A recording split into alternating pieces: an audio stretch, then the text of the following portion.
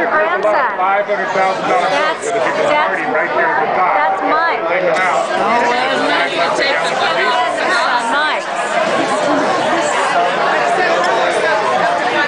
What is your job? Champagne. You're buying diesel out of water, you're probably six bucks a gallon. We're gonna have a toast to Kenneth and Edna. I mean Kenneth. I didn't say that. We're gonna have a toast to Kenneth.